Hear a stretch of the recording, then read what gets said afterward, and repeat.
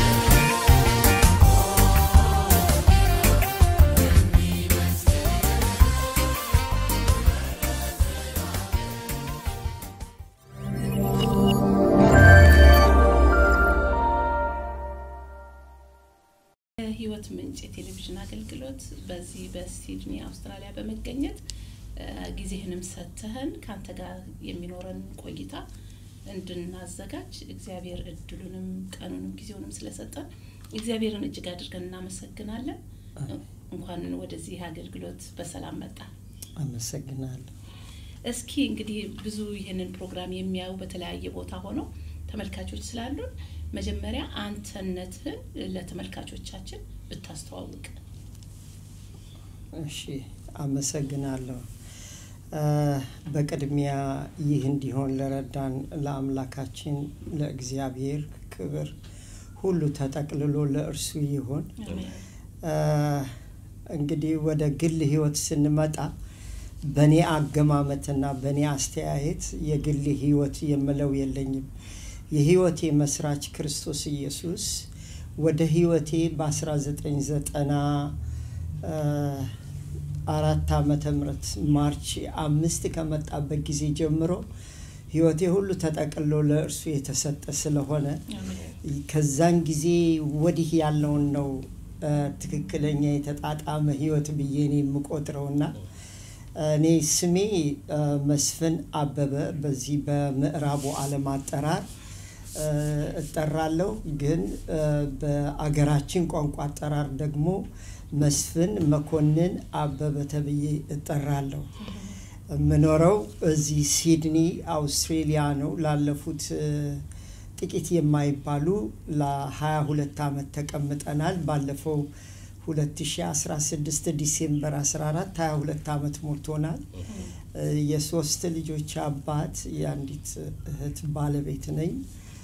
ባልተቤት የገነት ታደሰ ትባላለች።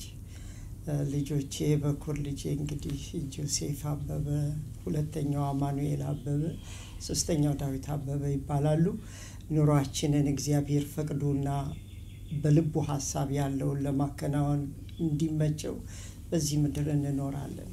አሜን። እግዚአብሔር ይመስገን። በጣም ጥሩ ነገር ነው። እንዴት ነው የልጅነት ጊዜህን ያሳለፍከው? እንግዲህ ወንድማችን መስፍን ያው ከዛ እንጀምርና ብዙ ሰው ይህንን ማወቅ የሚፈልግ ስላለ ቢሆን በጣም ጥሩ። ወደ ኋላ መቼስ እንግዲህ እግዚአብሔር አምላካችን የታሪክ አምላክ ስለሆነ የሰው ልጆችም ሕይወት ብዙ ጊዜ በታሪክ የተሞላ ሕይወትም ነውና ወደዛ ለመመለስ ከእናቴ ከወይዘሮ አሰለፍ እና ከአባቴ ከአቶ መኮንን አበበ በኮረም ተብሎ በሚታወቀው ሰሜናዊ የኢትዮጵያ ክፍል ወይንም በድሮ አጠራር የወሎ ጠቅላይ ግዛት አካል በሆነው በዛ ነው የተወለድኩትና ያደግኩት። አባቴ የገንዘብ ሚኒስቴር ሰራተኛ ስለነበረ ወደ ብዙ የተለያዩ አውራጃዎች ይቀያየር ለስራ ይሄድ ስለነበረ በዛ ምክንያት ከአንደኛ እስከ ስድስተኛ ክፍል ትምህርቴን በአምባሰል ሐይቅ ቀዳማዊ ኃይለሥላሴ ትምህርት ቤት ተምሬ ያለው እንደገና ደግሞ ወገልጤና በሚባል አውራጃ ወገልጤና ከተማ ላይ እዛም ተምሬ ያለው መጨረሻ ላይ ግን elementary እንትኔን የተማርኩት ሰባተኛና ስምንተኛ ክፍል የተማርኩት ባቲ ነው። ከዛ ወደ ዘጠነኛ ክፍል ሳልፍ ደግሞ ወይዘሮ ሲሂን ትምህርት ቤት ተብሎ የሚታወቀው ደሴ ነው ለትምህርት የተጓዝኩት። እዛ ነው እንግዲህ ዘጠን የልጅነት ዘመን በእነዚህ ቦታዎች የተካተተ ነው። የሰሜን ኢትዮጵያን ጥቅሉን ሃይማኖታዊ ቦታዎች የማወቅ እድሉ ነበር። በጣም እንግዲህ አሉ እንደሚባሉትን ቦታዎች ለማወቅ ከነበረኝ የተነሳ በህፃንነት የወራት በጣም እነዚህን ሃይማኖታዊ ቦታዎች መጎብኘትና ወደ ሃይማኖት መጠጋት በጣም ለእኔ ትልቅ እንትን ቦታ ስፍራ ነበረው። ብቻዬን ጊሸን ተብሎ የሚታወቀው በቀላሉ ሊወጣ የማይቻልበት ወደ ተራራማ ቦታ ላይ ሁሉ ብቻዬን ሄጄ አውቃለሁ እና እንግዲህ የልጅነቴን ወራት በእነዚህ ስፍራዎች ነው ያሳለፍኩት። በጣም ደስ ይላል። እንዴት ነው ታዲያ ጌታ ኢየሱስ ክርስቶስ እንደ ግል አዳኝህ የተቀበልከው እና መቼ? በጣም ጥሩ ጥያቄ ነው። እንግዲህ ሁላችሁ እንደምታውቁት ከአጼ ኃይለስላሴ ዘመነ መንግስት በኋላ ጊዜያዊ ወታደራዊ መንግስት ወይም ደርግ ተብሎ የሚታወቀው የሀገሪቱን የመምራት ኃላፊነት ከወሰደ ጊዜ በኋላ የሃይ ስኩል ተማሪ ነበርኩ። እና በዚያን ጊዜ ያው በተለይ ወይዘሮ ሲሂን ትምህርት ቤት አሉ ከሚባሉ ትምህርት ቤቶች ለአመፅ ከሚነሳሱ ትምህርት ቤቶች ግንባር ቀደም የሆኑ ሰዎችን የሚያፈራ በአዲስ አበባ ዩኒቨርሲቲ ያሉትን ያፈራ ትምህርት ቤት ነው። እና እዛ ስለነበርኩ ትምህርት ቤቱ በአመፅ ስለተዘጋ እና በጊዜውም ደግሞ የተለያዩ የፖለቲካ ድርጅቶች እንቅስቃሴ ስለነበረ እንዲሁ በእነዚህ ሁኔታዎች የተነሳ ለመጀመሪያው አመት ወደ አሳይታ ወደሚባል የወሎ ክፍለ ሀገር ከፍተኛ የጥጥ ምርት ወደሚመረትበት ቦታ ለስራ ሂጄ ነበረ። እዛ ጥቂት ጊዜ አሳለፍኩኝ። ከዛ በኋላም እንደገና አሁን በህይወቴ ላይ መንገድ ልጀምርበት የቻልኩበትን የመጨረሻው ጉዞዬን ወደ ሰሜን ኢትዮጵያ በማድረግ ካለው መንግስት በወጣቶች ላይ ከሚወሰደው እርምጃ የተነሳ ራስን ለማኖርና ለማምለጥም ሲባል የወንድሞቼ እናት የመጀመሪያ ልጇ የሆነው እዛ ወደ ቆቦ የሚባል ቦታ ይኖር ስለነበረ ወደዛ ሸሽቼ ሄድኩኝ። ከዛ በኋላ ግን እሱ ወደ በረሃ ላከኝ። በረሃ በአፋር ክልል በረሃ ለጥቂት ጊዜ ከተቀመጥኩ በኋላ ወደ ጅቡቲ ነው ያቀናሁት በስደተኝነት። ጅቡቲ ለሁለት ዓመት ተኩል ተቀምጫለሁ። ጅቡቲን እንዲሁ በአጭር አገላለጽ ለመግለጽ የገሃነም ደጆች ብዬ ብል አላፍርም። በጣም ኃይለኛ ሙቀት ያለበት ሀገር ነው።? ሙቀቱ ብቻ ሳይሆን ኑሮም ራሱ ቀላል አይደለም። አገሪቱ የምታመርተው ምንም ምርት ስለሌለ ሁሉ ነገር ከኢትዮጵያ ስለሚሄድ ህይወት ቀላል አይደለም፣ ከባድ ነው እና ራስን መግቦ ማዋል ቀላል አልነበረም እና ከዚህ የተነሳ የአሳ የባህር አሳ ቢውጠንና ወይም ብንጠፋ ይሻላል በሚል ወደ ሳውዲ አረቢያ ለመጓዝ ሁለተኛ ባች ነበርን። ሀያ ስምንት ሰዎች ተነስተን ለስምንት ቀናት ተጉዘን በመጨረሻው ስምንተኛው ቀን መቼም በዛን ጊዜ እግዚአብሔር መንገዴን አቀና የሚለው ቋንቋ ባይኖረኝም እግዚአብሔር ያሰባትን ነፍስ ይጠብቃታል። በራሱ መንገድ ይጠብቃታል። እኛ ባናቀውም እሱ እያወቀን፣ እኛ ባንፈልገውም እሱ እየፈለገን፣ እኛ ባንጠብቀውም እሱ እየጠበቀን በእውነት እነግራቸዋለሁ። በስምንተኛው ቀን ስንወርድ ሌሊት ከውሃ ዳር ላይ ያለ አሸዋ ተመግበን ነው እኔና አንድ ልጅ አቅም አግኝተን ትንሽ ተጉዘን ወደ አንዲት ከተማ ለመድረስ የቻልነው እና ደቡባዊት የሳውዲ አረቢያ ከተማ ጂዛን ተብላ የምትታወቅ ከተማ ደረስን። እዛም አጠር አድርጌ ነው ማጫወታችሁ። እዛም ለሁለት ዓመት ያህል ተቀመጥኩኝ እና የፍራፍሬ መኪናዎችን እያጠብን ባህር ዳር እየተኛን ገንዘብ ትንሽ አጠራቅመን ከዛ በኋላ ቤት ተከራይተን ኑሮ ጀመርንና የራሴ ላውንደሪ ነበረኝ። በዚህ መልኩ ትንሽ ገንዘብ ሲይዝ እኔ የአረብ ሀገር ኑሮ ባለጸግነትን ለማግኘት ሀሳቡም ስላልነበረኝ ለመማር ወደ አውሮፓ ለመሄድ ከሶማሌ ለሀጂ የገቡ ሰዎች ፓስፖርት ተዘጋጅቶልኝ ህጋዊ ቲኬት ህጋዊ ጣሊያን ቪዛ ተደርጎ ወደ አውሮፓ ለመሄድ ሲሄድ ጂዳ airport ላይ እንግዲህ ከብዙ መከራና ውጣ ውረድ እዛ ደርሼ መጨረሻ እዛም ላይ በዛን ወቅት የሳውዲ መንግስት የኤርፖርቶች forged ፓስፖርቶችን ሊያውቅ የሚችልበት መሳሪያ ገጥሞ ስለነበረ ጣፋንታችን ሆነው እኔና አንድ ኤርትራዊ ጓደኛ ተስፋ የሚባል እዛ ተይዘን ወህኒ ቤት ለአንድ አመት እስረኛ ከቆየው በኋላ ሳውዲ አረቢያ ጅዳ ፍርድ ቤት ቀርበን አንዳንድ ሺህ ሪያልና አንዳንድ አመት እስረኞች እንድንሆን ተፈረደብን። ያንን ስንጨርስ ደግሞ ወደ ኢትዮጵያ ነበረ መላክ የነበረብን። ሆኖም ግን ከኔ ጋራ የታሰረው ወንድም ተስፋዬ የሚባለው ወደ ሳውዲ ከሚሄዱ በፊት የጀብሃ አባል ስለነበረ እነሱ እሱን ሊረዱ ስለፈለጉ እሱ ደግሞ ከሱ ነጥላችሁ አትርዱኝ ስላለ ከዛ የተነሳ እኔም እንደሱ እገዛ አግኝቼ የሱዳን travel document ወጥቶልኝ ወደ ሱዳን ሀገር ሄድን። ሱዳን ነው እንግዲህ ገብቼ ስኖር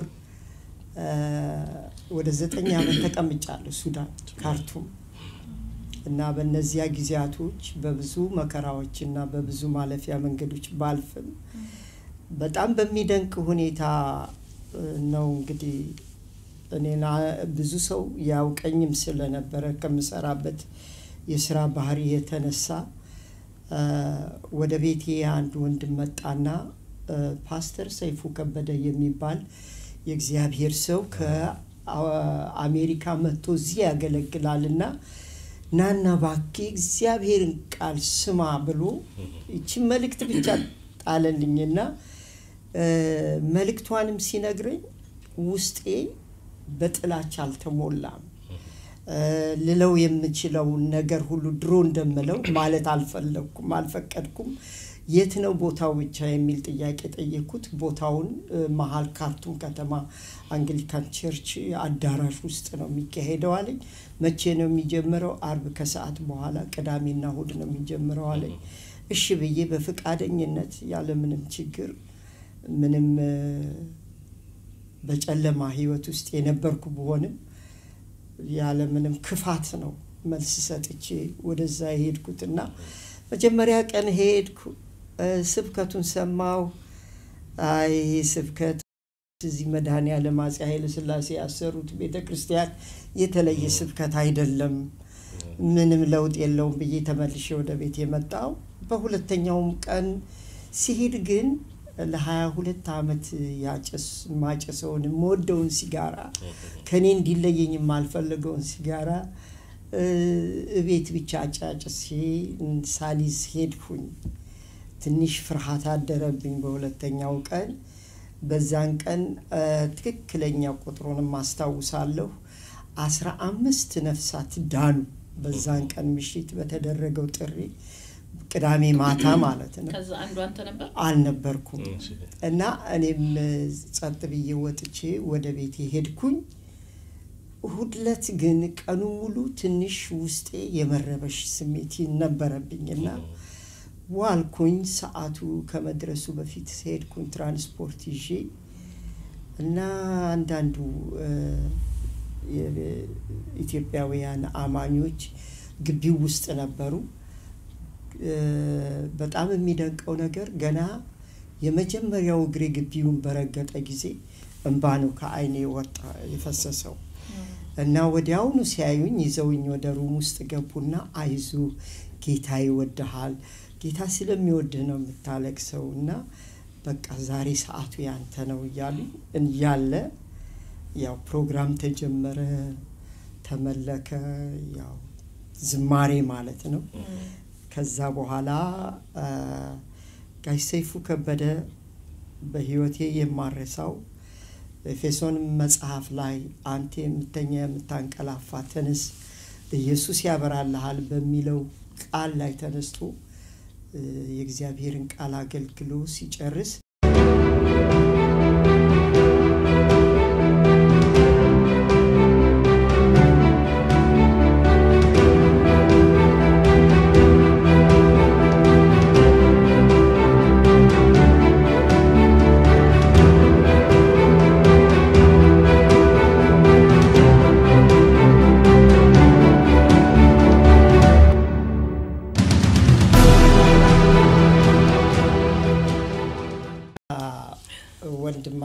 ታምራት ኃይሌ ነበረ ያን ቀን አምልኮ ይመራ የነበረው እና keyboard ይጫወት የነበረው። በጣም የሚደንቀው ደግሞ ያንን ቀን ነበረ ቪዲዮ የሚቀረጸው እና እኔ ጋሽ ሰይፉ ስብከቱን ጨርሶ ልክ ጌታን የምትቀበሉ እንደ ግል አዳኛችሁ አድርጋችሁ በህይወታችሁ ልታስገቡ የምትፈልጉ ብሎ ጥሪ ሲያቀርብ እጄ አሳዩኝ ነበር ያለው። እኔ ግን እጄን ሳይሆን በሙላት ተነስቼ ብድግ አልኩ። ብድግ አልኩ። ጠበቀ። ማንም ሰው አልነበረም። አንዲት ነፍስ እኔ ብቻ ነበር። ከዛ ና እስኪ ያለኝና ወደ መድረኩ ሄድኩኝ።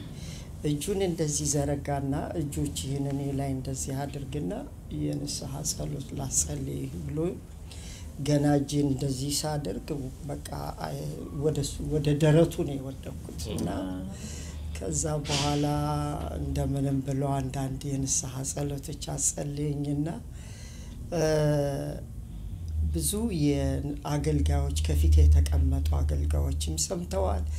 ቪዲዮ ላይ ብዙም ግልጽ ሆነው ላይሰማ ባይችልም የሚሰማ ነገር አለው እና ይህ ሰው ወደፊት እግዚአብሔር ትልቅ ነገር የሚጠቀምበት ሰው ነው።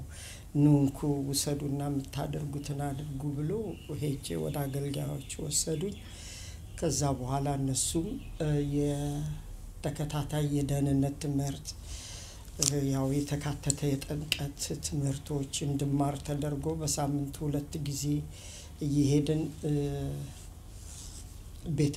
ቤተ እምነት ትባላለች ጸሎት ቤቷ ስሟ። እዛ እየሄድን የእግዚአብሔርን ቃል እየተማርን አዘጋጁን። በዚህ ወቅት ጊዜ mid June አካባቢ June ላይ ወደ አውስትራሊያ መምጣት ነበረብኝ፣ ግን የኛ flight ዘገየ። ለካ የዘገየው የኔ የሽንት ውጤት ወረቀቱ ተደብቆ ኖሯል። ግን ይህን ያደረገው በኋላ ሲገባኝ ከቆይታ በኋላ ሲገባኝ እግዚአብሔር የኔን ነገር ሁሉን ጨራርሶ ተጠነቃቅቄ ወደ አውስትራሊያ እንድመጣ እንጂ ባልሆነ ጅምር ነገር ላይ ብቻ ሆኜ እንድመጣ ስላልፈለገ ነው ወደሚለው ድምዳሜ ላይ ደርሻለሁ እና ከዛ በኋላ ያጠፋ ካይሮ ሁሉ ተፈለገ። መጨረሻ ምንም አላሉም።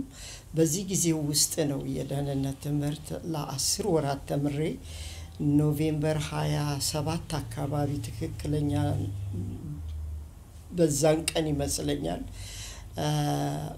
በመጽሐፍ ቅዱስ ስሙ ጊዮን ወንዝ ወይንም በአሁን በሕዝባችን አጠራር ስሙ አባይ ወንዝ ወስደው አርባ ሁለት ልጆች ተጠመቀን። የቆዩም ልጆች ነበሩ። አርባ ሁለት ልጆች የውሃ ጥምቀት ስርዓት አደረግን። ከዛ ማታም ራት ግብዣ ነበረ እና የመንፈስ ቅዱስ ሙላትም ጸሎት ጊዜ ሌሊቱ ሙሉ የጸሎት ጊዜ እና የደስታ ጊዜ ነበረ። ምክንያቱም ደስ የሚል ጊዜ ነበረ። በዚህ መልኩ ነው ጌታ ወደ ህይወቴ እሱ ፈልጎኝ መጣ እንጂ እኔ ጌታን ፈልጌ አላገኘሁትም። ይሄ እርግጠኛ ሁኜ የእግዚአብሔርም ቃል እንደሚናገረው እግዚአብሔር ዓለምን ወዶ አንድ ልጁን እስኪሰጥ ድረስ ሳይራራ አሳልፎ የሰጠን እሱ ፈልጎን እንጂ እኛ ፈልገ ነው አይደለም። እና ጌታ ወደ ህይወት የመጣው ለጠየቅሽኝ ይህን ይመስላል። አንድ ተጨማሪ ነገር ጠይቅና እሺ ወደ ጌታ ሳትመጣ በፊት ስለዚህ ስለ ክርስትናው የነበረ አመለካከት ምንድን ነበረ? ምክንያቱም በዛ መልክ ያሉ ሰዎችም ይኖራሉና ከዛ በኋላ ስትገባበት ደግሞ እንዴት ሆኖ አገኘው? በዛ ወቅት የነበረው እውነት ነው። ያው ሃይማኖት አለን ልንል እንችላለን። ያው ቤተሰቦቻችን በህፃንነታችን ኦርቶዶክስ ቤተ ክርስቲያን ይዘውን ይሄዱ ነበረ። ያ በህይወቴ ትልቅ የሃይማኖተኝነትን መንገድ አስቀምጦ ነበረ። ለዚህም ብዙ ቦታዎች ተጉዣሉ። የሃይማኖታዊ የተባሉ ቦታዎችን ለመጎብኘትም ጸሎትም ለማድረስ ሄጃለሁ። እንዳውም በዚህ ውስጥ ጣልቃ ለማስገባት ካስፈለገ በወሎ ክፍለ ሀገር ጊሸን ተብሎ በሚታወቀው ቦታ ጌታ ኢየሱስ ክርስቶስ የተሰቀለበት እንጨት ፓርቱ እዛ አለ ተብሎ ከሰባት ዓመት እድሜ በታች ያለን ህፃናት ገብተን የምንስመው በጨርቅ የተጠቀለለ ወደ መቅደስ ውስጥ ገብተን የምንስመው ነበረ። ግን ይህን ያህል በህይወቴ ላይ ሃይማኖት influence ነበረው። በጣም የሚደንቀው ባቲ በነበርኩበት ጊዜ የፕሮቴስታንት አማኞች ነበሩ እና ክፉ አልናገርም፣ ግን አልሳተፍም። ክፉ ግን ከአንደበቴ ወጥቶኝ አያውቅም። ለምን ያ እነሱ የሚያምኑበት መንገድ ነው ብዬ ቀና መንፈስ ነበረኝ እላለሁ። አንዳንድ ጊዜም ያው ከዚህ ከእርዳታ ስንዴ ጋር የመጣ ሃይማኖት ሲባል አብሮ የማለት ባህሪውም ነበረኝ በእርግጥ ከዛ ውጭ ግን እንደ ሌሎቹ የተጋነነ የከፋ ተቃውሞ አልነበረኝም። በጣም የሚደንቀው ሰላም የለኝም። ሰላሜ በጭሳጭስ ላይና በመጠጥ ላይ የተመሰረተ ሰላም ነበረ የነበረኝ። ያ በሌለበት ጊዜ ግን ሰዎች እንኳን ከቅጥነቴ ፍርሃት የለኝም። ምንም ቢሆኑም በቃ ያስቆጣኝ የነበረ መጥፎ ባህሪ የነበረኝ ሰው ነበርኩ። ግን ኢየሱስ ወደ ህይወቴ ሲገባ ያ ሁሉ ተቀየረ። ክብር ለስሙ ይሁን። ይሄ ነው ብዬ አሁን ለመግለጽ ትንሽ ይከብደኛል። እሱ ያደረገልኝን ቃላት ያጥረኛል እና የሀያ ሁለት ዓመት የማጨስ ባህሪን instantly በዛ ምሽት ነው ታጥቦ መጠጡም ምኑም የተወገደው ጌታ ወደ ህይወቴ የገባለት ምሽት ነው ተጠራርጎ የቀረው እና እስካሁን ይሰማኛል። thick የሆነ oil ነገር ምንም አገሩ ሙቀታማ ሆኖ ላበላብ ብንሆንም ሌት ያለ ፈሳሽ ግን ባናቴ በኩል እስከ እግሬ ድረስ እንዳለፈ አስታውሳለሁ። እና ለዚህም ምስክር ናት ባለቤቴ እና ህይወቴ እንዲህ turn round ነው ያደረገው። 180 ዲግሪ 360 አይደለም።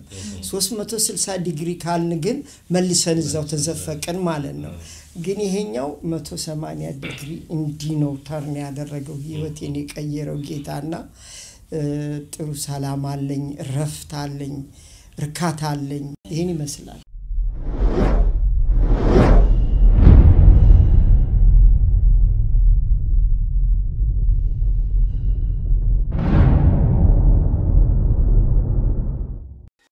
እንዴት ነው ታዲያ አሁን እንግዲህ ወደዚህ ክርስቶስን ወደ ማወቅ ስትመጣ እና የህይወትም ለውጥ ሲመጣ በዛ ሁኔታ ላይ ስታልፍ ተቃውሞ አልደረሰብህም ወይስ እንዴት ነበር? በቤተሰብ፣ በጓደኛ፣ በወዳጅ? በጣም የሚደንቃችሁ ሱዳን እያለን ብዙ ልጆች ጋር እንተዋወቅ ነበረ እና ከነበረኝ ደግሞ የባለስልጣናት እውቀት የተነሳ ለብዙ ሰዎች ኬዝ መሳካት እርዳታ አደርግ ስለነበረ ወደ አሜሪካም ወደ ተለያየ ዓለም የሄዱ ሰዎች አሉ። ከማቃቸው ደግሞ እዚህ ሜልበርን የሚኖሩ አሉ። እኔና ባለቤቴ የመጀመሪያ ልጃችንን ይዘን ነው የመጣ ነው። መጀመሪያ የመጣ ነው ሜልበርን ነው። እናረፍንበት ቤት ትልልቅ ውስኪ ቢራ ተሸክመው የድሮ መስፍን መስያቸው ሲመጡ ቁጭ ብዬ ከመጫወት በቀር እና ለስላሳ ከመያዝ በቀር ምንም ነገር አላደርግም ነበር እና እንዴት ነው? በቃ አገኙሽ እንዴ እነዛ ሰዎች? በቃ ጠፋሽ ማለት ነው። ከማህበራችን ወጣህ ወይ? ይህ በቃ ከፍቅር የተነሳ አንተን ወደ አንቺ የመቀየር ባህሪ አለ ጨዋታ ላይ። እና እንደዛ የሚሉ ነበሩ አንዳንዶችም ደስተኞች አልነበሩም። ቤተሰቦችም በኋላ እናቴ አባቴ ጅቡቲ ያለው ነው የሞተውና እናቴ ሶስት ወንድሞች ሶስት እህቶች አሉኝ። ሁሉም ሲሰሙ ደስተኞች አልነበሩም። እንዴት ነው ታዲያ ከሱዳን? አሁን እንግዲህ ያንን የእምነት ማጽኛ ትምህርቶችንም ተምረ ጥምቀትም ተጠምቀ ወደዚህ ሀገር መጥተሃል። ያው መጀመሪያ ሜልበርን ሜልበርን ብዙ ቆይተሃል ሜልበርን ብዙ አልተቀመጥኩም። January December 14 በ1994 ዓመተ ምህረት ገባን March 15 በ1995 ዓመተ ምህረት ወደ ሲድኒ መጣን የመጣንበት ራሱን የቻለ ሌላ case አለው እና እዚህ ሶስት ወር ተቀምጫለሁ ማለት እችላለሁ። ለጥቂት ጊዜያቶች ሜልበርን። አዎ። እና እንዴት ነው የመንፈሳዊ ነገር ይዞታ ሲድኒ ስትመጣ እንግዲህ እንዴት ነበረ ሲድኒን ደግሞ ያገኘው? አዎ፣ እንዲያውም በተጨማሪ በዛው ላይ በወቅቱ congregation ነበረ፣ ሰዎች አብራችሁ የምታመልኩ ቤተ ክርስቲያን ነበረ በዛን ወቅት። ሜልበርንም እዚህም ተሰባስባችሁ ነበር። ጥሩ ጥያቄ ነው። ሜልበርን በገባን ጊዜ እነ ወንድም ህሉፍን አስታውሳለሁ። አንድ በቁጥር ከ15 እስከ 20 የማይበልጥ ቅዱሳን ህብረት ነበረ። ወደ ዳንዲኖግ የሚባል ቦታ ራቅ ያለ ከከተማ ወደ ራቅ ያለ ቦታ ነበረችና ጸሎት ቤቱ የምንጠቀምበት እ፣ እሁድ እሁድ በትሬን እየተጓዝኩ ነበረ። አብረን እየሄድን ከባለቤቴም ጋር አሳለፍን። እዚህ ወደ ሲድኒም ስመጣ ጥቂት ቅዱሳኖች ነው ተመሳሳይ ቁጥር ያለው ቅዱሳኖች ነው እዚህ የሚያጋጠመኝ። አሽፊልድ ነበረ ጸሎት ቤታችን። እዛ ከነሱ ጋራ በቃ እገናኛለሁ። እሁድ እሁድ አብረን እናመልካለን። አርብ አርብ የመጽሐፍ ቅዱስ ጥናትና የጸሎት ጊዜ ነበረን። በእነዚህ ጊዜያቶች እንግዲህ እግዚአብሔርን ወደ ማወቅ ማደግ ለአንድ ክርስቲያን አንድ የሚገባው part እሱ ነው ብዬ አምናለሁ እና እለት እለት ነው እግዚአብሔርን እያወቀው የምታድገው እንጂ በአንድ ቀን instant ላይ የሚሆን ነገር አይደለም። እና እኔም እዚህ ስመጣ ከቅዱሳን ጋር ህብረት በማድረግ ጌታን more deeply መንፈሳዊ ነገሮችን እጠማ ነበረ ለማወቅ እጠማለሁ። ግን እዛ ሱዳን ያየሁትና እዚህ ያየሁት it's like የሰማይና የምድር ርቀት ነው ያጋጠመኝ እና ስለዚህ ያለኝ አማራጭ አንድ ነገር ነው ወደ ተሻሉ ቤተ እምነቶች በእንግሊዝኛም ቢሆን በምትገባኝ ያህል እሁድ ማታ ማታ ከባለቤቴ ጋር ልጃችንን እየያዝን እስከ ዋተርሉ Hillsong አሁን እንዲህ ግዙፍ የሆነው ጸሎት ቤት አባቱ ከኒውዚላንድ በራእይ መጥተው የከፈቷት ጸሎት ቤት Redfern Waterloo Street ላይ ትገኝ ነበር እና እሁድ ማታ ማታ እዛ እየሄድን እንካፈል ነበረ። ይህን ይመስላል እንግዲህ የነበረው መንፈሳዊ ለመንፈሳዊ ነገር ለማደግ በጣም የነበረኝ ጥረት እንደዚህ ነው። እዚህ ግን ያገኘኋቸው ቅዱሳኖች በቁጥርም ያን ያህል ነው። እግዚአብሔር ይመስገን። ህብረት ካደረግ መልካም ነው። ግን ከህብረት ባሻገር ደግሞ የሚጠበቁ ብዙ ነገሮች አሉ። መጽሐፍ ቅዱሳዊ በሰዎች ህይወት መከሰት የሚገባቸው ነገሮች አሉ እና እነዛን ነገሮች ለማግኘትና ለመርካት ግላዊ ጥረት በጸጋው ይቻላል። ጸጋው ያስችላል። ያለመጠን ጸጋው ተለቆልናልና እኛ ጸጋውን ችላ ማለት የለብንም። ያንን ጸጋ እየተጠቀምን ለማደግ ጥረት ከኛ ይጠበቃል ብዬ አምናለሁ። ግላዊ ነው ይሄ። በመንፈሳዊ ህይወት ለማደግ ግላዊ ውሳኔ እንጂ የህብረት ውሳኔ ወይም የኮፐሬት ውሳኔ አይደለም።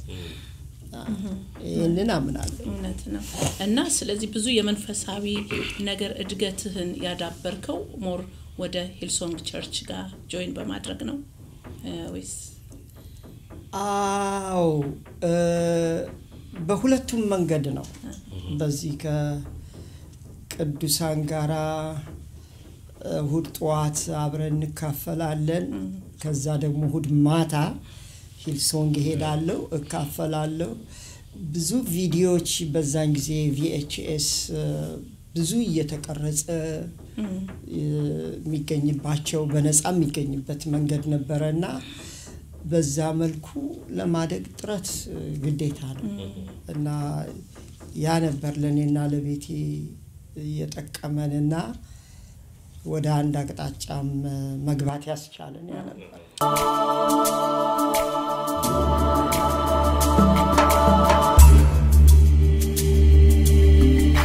በጣም ጥሩ ነው ወንድሜ መስፍን። እውነት ትልቅ ምስክርነት ነው ይሄ።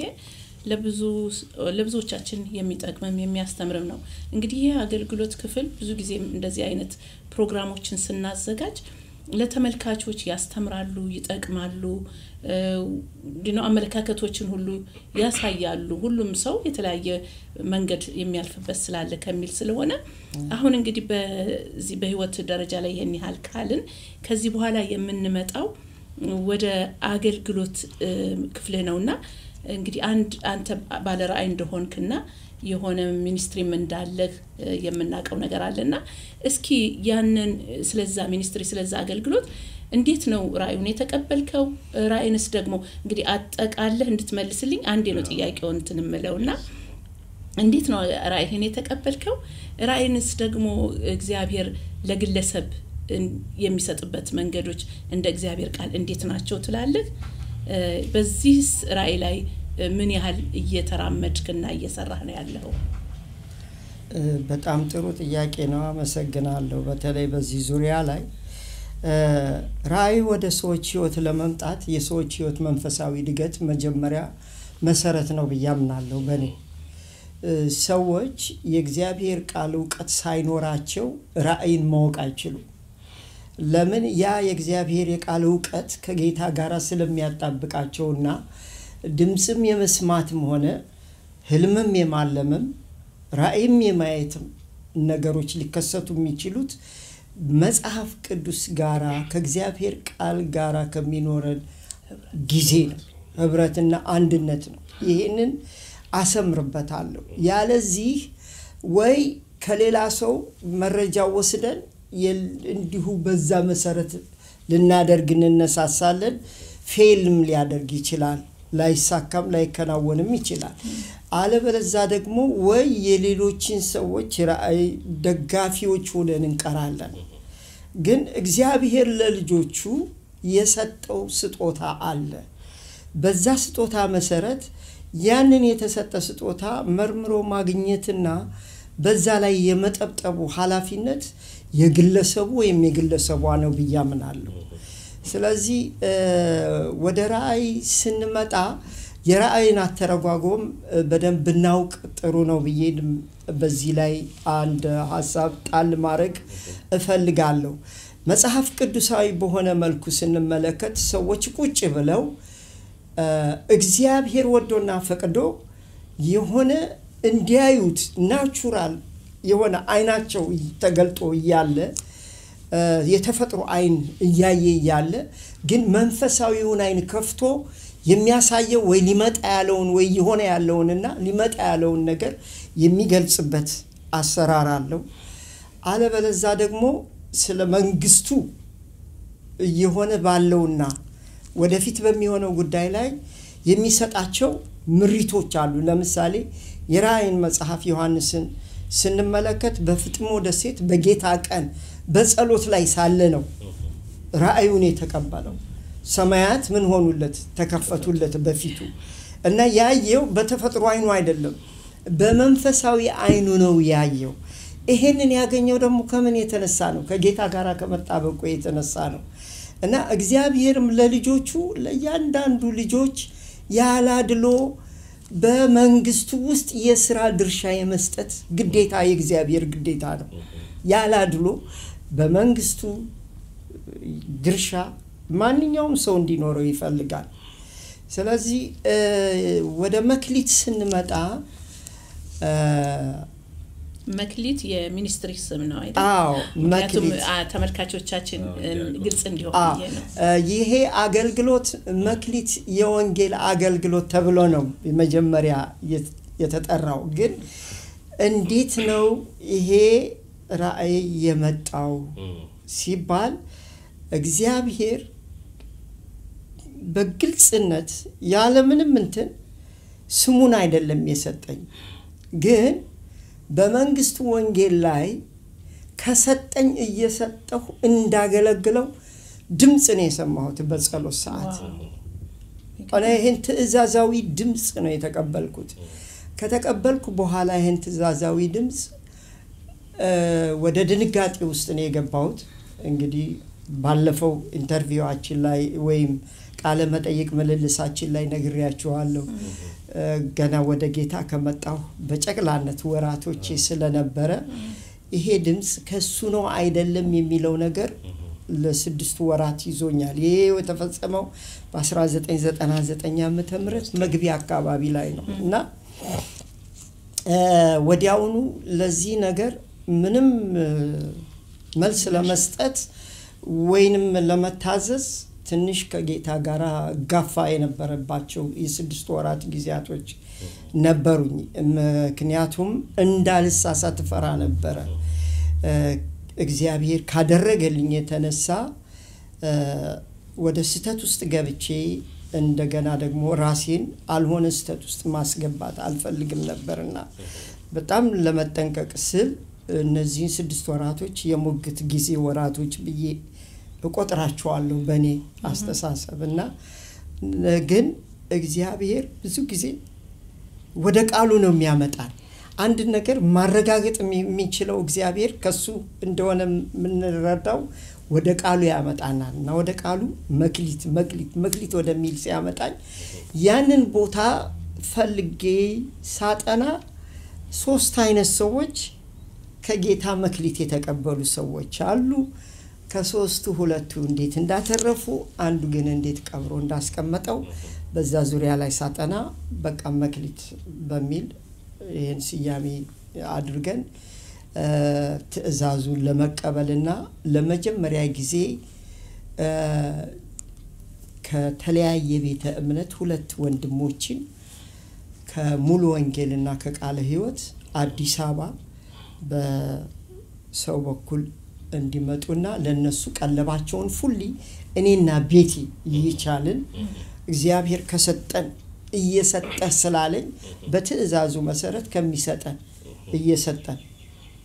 በዚህ የክርስትና እድገት ላይ አንዱና ቁልፍ መስጠት የመቀበል መዘርጋት እንደሆነ ተምሬ ስለነበረ አስራታችንን በአግባቡ የምናመልክበት ጸሎት ቤት እንሰጣለን። ግን ይህንኛውን አገልግሎት ግን እኔና ባለቤቴ ካለን ከተረፈን አድርገን እየላክን ሁለት ወንድሞች ወደ ገጠራማው የኢትዮጵያ ክፍል እየሄዱ ኢየሱስ ያድናል ብለው ብቻ በቃ ይህንን የመንግስት ወንጌል እንዲያገለግሉ ከሰዎች ጋር ተነጋግሬ ኢትዮጵያ ጀመርን። በዚህ መልኩ ነው በ1999 ዓመተ ምህረት ይህን አገልግሎት ጀመርን ከስድስት ወር ሙግት በኋላ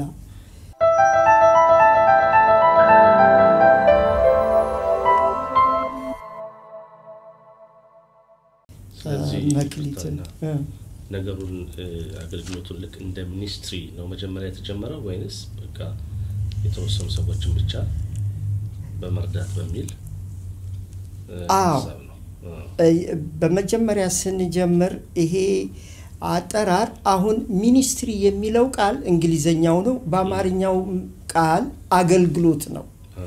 ስለዚህ ይህን አገልግሎት ስንጀምር ወደ ሌላ ወደ ስም ማስጠሪያ ወይም ወደ ሌላ አቅጣጫ ልንወስደው ሳይሆን የመንግስቱን ወንጌል ብቻ የሚሰሩ ሰዎች እኛን ሳያውቁ እንዲያገለግሉ ለማድረግ በተሰጠን መመሪያ መሰረት ከጌታ በተቀበልነው መመሪያ መሰረት በዚህ መልኩ ነው። ኢትዮጵያ ደግሞ ከአንድ ዲኖሚኔሽን አይደለም፣ ነግሬያቸዋለሁ። ከቃለ ሕይወት ከሙሉ ወንጌል ነው መጀመሪያ። በዚህ መልኩ ጀመርን። ከዛ በኋላ ሁለት ሺህ ላይ እኔም ጥሩ ስራ ሰራ ነበረ። ደህና ገንዘብ ስናገኝ ወደ አራት አሳደግን። ወደ አራት ስናሳድግ ከመሰረተ ክርስቶስና ከመካነ ኢየሱስ ጨምረን አራት ሆነው እንዳውም ከአዲስ አበባ ወጥተው ለአስራ አምስት ቀን ነበር የመጀመሪያዎቹ ሁለቱ ሄደው ሲያገለግሉ ይከርማሉ። ይመለሱና አርፈው ከጌታ ምሪትን ተቀብለው ለሚቀጥለው ጊዜ ወዴት እንደሚሄዱ አውቀው ነበር የሚሰማሩት። አሁን ግን አራት ሲሆኑ አሰራር ቀየርን። ምን አደረግን? አራቱ ይሄዱና አንድ ከተማ ላይ ደብረ ብርሃንን እንደ ምሳሌ ልውሰደው። ደብረ ብርሃን ላይ ይሄዱና ለሶስት ወር ይቀመጣሉ። ቤት እንከራያላቸዋለን። ይሄ አገልግሎት ጥሩ ገንዘብ አንድ ጊዜ ልኮ ስሊፒንግ እንትናቸው ሁሉን ነገር ምግብ አብስለው የሚበሉበትን ሁሉን ነገር አሟልቶ ይልካቸዋል። እዛ ቤት ተከራይተው ይገባሉ። እዛ ተቀምጠው ከአሉት አብያተ ክርስቲያናት ጋር ህብረት በማድረግ ቀን ምስክርነት ሲመሰክሩ ለዳኑት ደግሞ ተከታታይ ትምህርት ሲሰጡ ይውላሉ።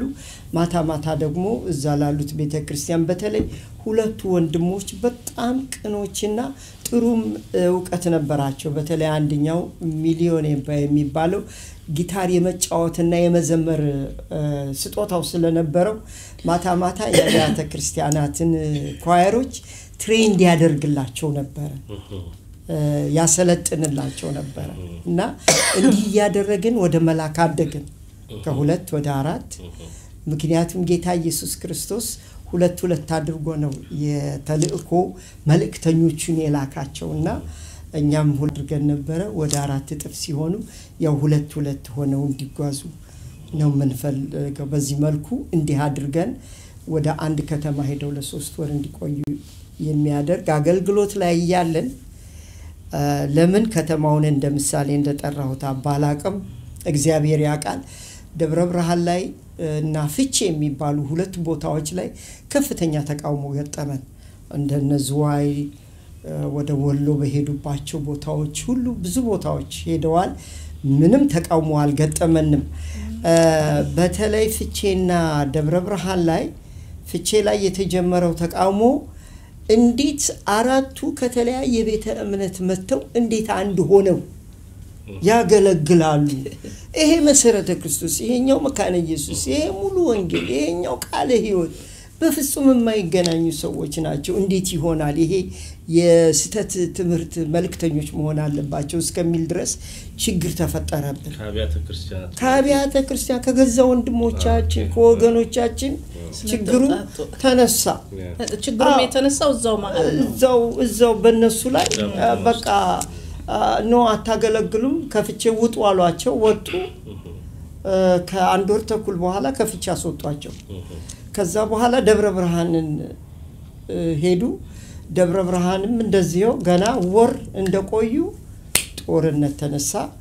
አሁን እነሱን የሚያስተባብረው ወንድማችን የመጀመሪያዎቹን ሁለቱን ያስተባብር የነበረው ወንድም አለማየሁ ይባላል። ክርስቲያን ጋዜጠኛ ነው። አሁን አሜሪካን ዋሽንግተን ዲሲ ነው የሚገኘው እና እሱ ለቆ ለሁለተኛ ጊዜ ዓለም አቀፍ የክርስቲያን ጋዜጠኞች ጉባኤ ለመካፈል ወደ አሜሪካ ሲሄድ እግዚአብሔር የተናገረ ነገር ስላለ ላልመለስ ይችል ይሆናል ስላለ ወንድም ሳሙኤል ኃይሉ Millennium Prayer Chain ኢትዮጵያ ውስጥ የታወቀ አገልግሎት ነው። በጸሎት ዙሪያ ላይ በጣም ያገለግላሉ እና ይሄ ወንድም ከሱ ተቀብሎ እኔ የምልከው ገንዘብ ባንክ ይገባል። ከባንክ እየወጣ ነው ቀለባቸው እየተዘጋጀ ሁሉን ነገር የሚላኩት እና እሱ ጋራ በደብዳቤ ላከልኝ ያለውን ችግር በሙሉ ስልክም ያን ጊዜ ቴሌስትራ በጣም ውድም ቢሆንም እንደምንም ብለን ደወልኩና ተነጋገርን። በቃ ከዚህ በኋላ አስቸጋሪ እየሆነ ነው የሚሄደው። ስለዚህ ይሄ አገልግሎት ህጋዊ ሆኖ መመዝገብ አለበት። ያን ጊዜ ዲፌንድ የማድረግ እንትኑ ይኖረዋል።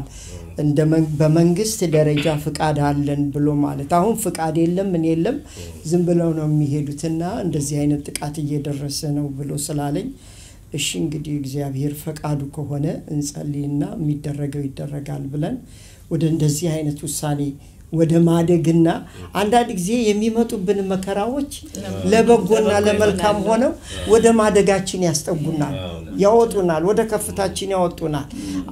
ሁልጊዜ መከራዎችንና መገፋቶችን እንደ ክፋት አንውሰዳቸው። ሳናቅ ወደማናቀው ውስጥ ሊያስገቡን ይችላሉ እና እኛም እሺ ባልን ጊዜ ከወንድሜ ጋራ ያው ሁለቱ በምድር መስማማት አለባቸው ነው የሚል የእግዚአብሔር ቃልና ተስማማንና ምዝገባው ሲደረግ 999 ቁጥር ይዘን በኢትዮጵያ ፌዴራላዊ መንግስት በዛን ጊዜ ፍትህ ሚኒስቴር በሚባለው ነበረ፣ እንዳሁኑ አይደለም። ተመዘገብን። በዛን ጊዜ ምዝገባ ደግሞ ሲደረግ አስቸጋሪ ጊዜ ነበረ። ምክንያቱም የሚሟሉ መሟላቶች አሉ። ቢሮ ያስፈልጋል፣ አስተባባሪ ያስፈልጋል፣ ጸሐፊና ካሸር ያስፈልጋል፣ ሂሳብ ሽም ያስፈልጋል። እነዚህን አራት ነገሮች ስታሟላ ብቻ ነው license ኡን ህጋዊ ፈቃዱን የሚሰጡት እና ይሄ ወደዛ ወደ ማደግ ተገፋን። ግን ስንገፋ financially ይቻላል ወይ ነው አንዱ ጥያቄ። በእንደዚህ አይነት ሁኔታ ላይ እያለን ነገሮች እግዚአብሔር የተመሰገነ ይሁን እግዚአብሔር አከናወናቸው።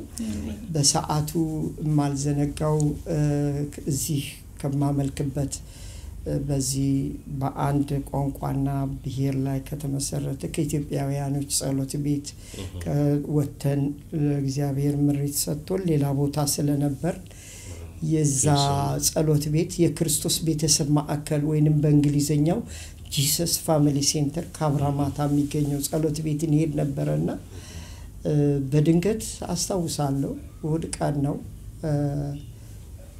ማንኛውም ስርዓተ አምልኮም የቃል ጊዜም ሁሉ ነገር ተጠናቆ አልቆ ወደ ፎቅ ሄደን ህብረቷ ቦንድ ያደረጋት አንድ መልካም ስራ አላት የክርስቶስ ቤተሰብ ማዕከል ወይም Jesus Family Centre እና ከጸሎት በኋላ ሁሉ ነገር ሲያልቅ በአካባቢ የተቀናጀ ሰዎች ምግብ ይዘው ይመጡና ሁለት ሁለት ብር ይሸጣል እና ሰው ሁሉ ቢያንስ ከጉባኤው መቶ ሰው በላይ ተቀምጦ አዳራሽ አለ። እዛ በልቶ ጠጥቶ ያ ገንዘብ ለወንጌል ስራ ለሚሽን ስራ የሚላክበት ነው እና የእኛንም እግዚአብሔር የሰጠንን አገልግሎት ተቀብለውን ወደፊት ምን ማድረግ እንዳለባቸው ለመወሰን አራት አመት ፈጅቶባቸዋል። ወዲያውኑ እንደሄድን አልጋ ባልጋ ተቀብለውን ፋይናንስ እርዳታ ምናምን አላረጉልንም። እሺ እንግዲህ እግዚአብሔር ያለው ሄዶ አይቶ ትክክለኛ ስራው መኖሩ ቢሮ መኖሩ ሁሉ ነገር አረጋግጦ ነው። እግዚአብሔር ትክክለኛ ነው፣ ይህ ጄኒውን ቦታ ላይ ነው ዘር ብንዘራም ፍሬ እናገኛለን ብለው በኋላ ወደ ውሳኔ የመጡት ከተቀላቀልን ከአራት አመት በኋላ ነው ወደዛ ጸሎት ቤት የተለያዩ አገር ሰዎች ናቸው እዛ ቦታ ላይ የሚያመልኩት። በጣም ጥሩ እናገራለሁ። ከአርባ አገር የተውጣጣ ህዝብ ዘጠና ቋንቋ ተናጋሪ ነበረ ህዝብ ነበረበት እና በጣም የሚደንቅ ጉባኤ ነው። ግን ሁሉም አንዱን ጌታ በእንግሊዘኛ ብቻ ነው ቻለም አልቻለም። መልእክት ሲተላለፍ ለቬትናሞች ለካምቦዲያና ለኔፓሎች translate ይደረግ ነበር። በኋላም ለ Persian ኦች translate ይደረግ ነበረ። ለብዙ አመት ስለተቀመጥን እድገቱንም እናውቃለን። እና ግን በጣም የሚደንቀው ነገር ያ ሁሉ ጉባኤ አንዱን ጌታ በአንድ ቋንቋ ያመልክ ነበር። እና ለዚህም ነው ስሙ ራሱ የክርስቶስ ቤተሰብ ማዕከል እና በአንድ ቋንቋ ወይም በአንድ ነገር ላይ የተመሰረተ አልነበረም። እና ያለኛ ትልቅ በረከት ነበረው። ምክንያቱም መንፈሳዊ እይታችንን ወደ አልጠበቅነው አንድ አድማስ ያሳደገን ነገር መንፈሳዊ ተጽዕኖ ያመጣበት ሁኔታ ነበረ እና በዚህ መልኩ እያለን እንግዲህ ወደ ኢትዮጵያ ነው የምወስዳቸው። እግዚአብሔር ያ ይሄ ህብረት የአንድ ቤተ ክርስቲያን አለ ከተለያየ ቤተ ክርስቲያን የሚመጡ ሰዎች ናቸው ወይስ እንደ ቤተ ክርስቲያን የተመሰረተ ህብረት ነው? ባለ ራእዩ ፓስተር ዴቪድ ቦይድ ይባላል። ከነ ባለቤቱ ከኒውዚላንድ ነው። በዛን ጊዜ ከአብራማታ ማለት day በቀን በፀሐይ ሰው የሚገደልበት የ drug ከ South Pacific የ drug የመሸጫ ቦታ የነበረ ቦታ ነው። እግዚአብሔር ተናገሯቸው መጥተው እግዚአብሔር ታዘው ህብረቷን መሰረቱ።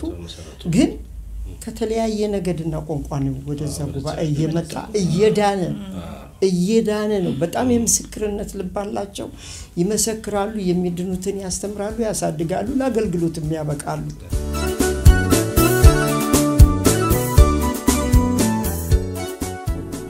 እንዲህም አላቸው፣ ወደ ዓለም ሁሉ ሂዱ ወንጌልንም ለፍጥረት ሁሉ ስበኩ። የማርቆስ ወንጌል ምዕራፍ 16 ቁጥር 15